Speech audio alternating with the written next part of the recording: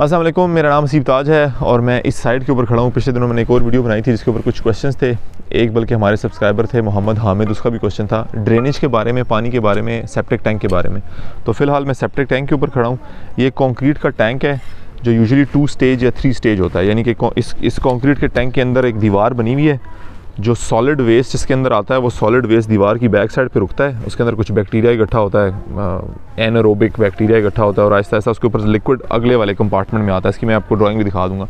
अगले वाले कंपार्टमेंट में पानी आता है लिक्विड फॉर्म में वेस्ट आता है और लिक्विड फॉर्म में वेस्ट यहाँ से बाहर जो हाउसिंग सोसाइटी की लाइन है, उसके अंदर बन जाता है। इस सेप्टिक टैंक को फ़ीड करने के लिए जितने भी वॉशरूम्स हैं, उनमें से पाइप निकलते हैं। वॉशरूम में यूजुअली दो पाइप्स निकलते हैं। एक तो होता है सॉलिड वेस्ट का जो आपके टॉयलेट के नीचे से आता है यूजुअली वो चार इंच डाया का पाइप होता है, वो आके इसके अंदर लगता है।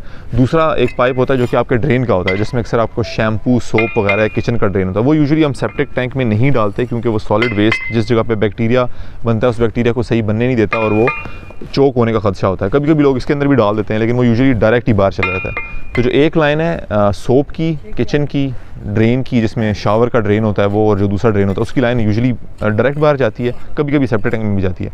और जो दूसरी लाइन है, जो सॉलिड वेस्ट की है, जो बेसिकली आपका अपना टॉयलेट का जो पाइप होता है, वो टॉयलेट का पाइप डायरेक्ट सेप्टिक टैंक में लगता है, ताकि सॉलिड वेस्ट डायरेक्ट ना बाहर जाए, चीज़ें चोक ना करे।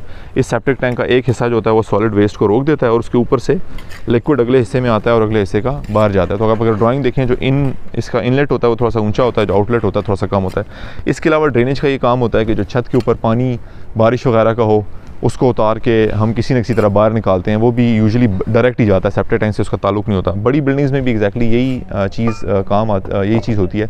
मेन होल क्या होता है, ये भी मैं आपको बता दूँ। फॉर फॉर एग्ज़ाम्पल गली बहुत लंबी है।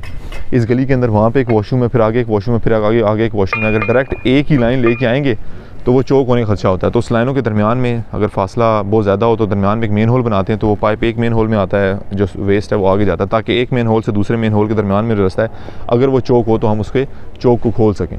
अगर ड्रेनेज के बारे में पानी के बारे में किसी और चीज़ के बारे में कोई भी आपका काम आ, कोई क्वेश्चन हुआ तो लाजमी बताइएगा। Thank you so much for time